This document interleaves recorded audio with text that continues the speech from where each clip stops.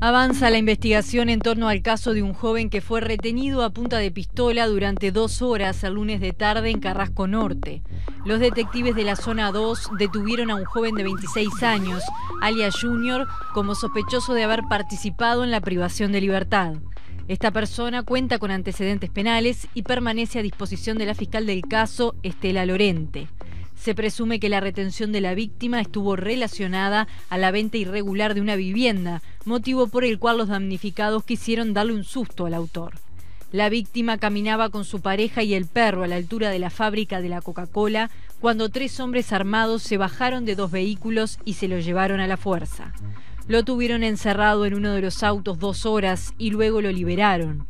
La policía lo buscaba en la Cruz de Carrasco, pero el hombre apareció caminando en Camino Paiva y Camino Carrasco ileso. Por el caso también había sido detenida una mujer de 28 años que recuperó la libertad.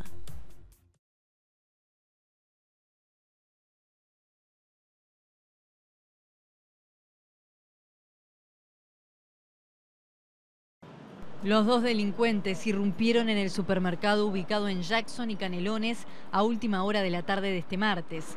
Redujeron a una de las cajeras, una joven de 21 años. La encañonaron con una pistola cromada y le exigieron la recaudación de esa y otras tres cajas, según la denuncia a la que accedió subrayado. Uno de los asaltantes, el que portaba el arma de fuego, cubría su rostro con un casco de moto negro y gris, según el testimonio de testigos. Llevaba puesta una campera, championes negros y guantes grises. Llegaron a robar aproximadamente 100 mil pesos, según informó la policía. Antes de irse, los dos rapiñeros redujeron al guardia de seguridad, le exigieron el arma, pero el trabajador de 42 años no tenía. Lo obligaron a tirarse al piso y huyeron corriendo por Jackson hacia 18 de julio.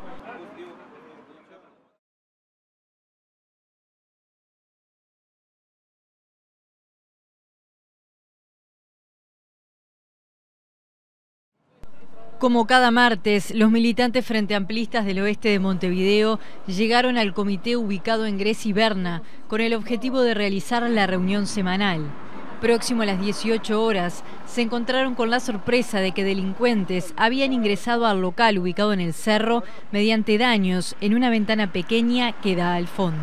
Hurtaron cosas que, que, había en el local, pero además hicieron, vandalizaron, ¿no? Porque rompieron eh, parte del mobiliario y bueno, llevar las pinturas y estaba todo tirado, las banderas, todo. La denuncia de robo y vandalismo fue radicada en la seccional 24 y el caso es ahora investigado por la policía. ¿La primera vez que les pasa? Eh, con, esta, con esta intensidad es la primera vez. Hace unos años, como cinco años atrás, habían entrado, pero por la puerta, por acá, rompiendo el candado, y solo habían llevado efectos, la silla y la mesa, pero así destrozar no es la primera vez.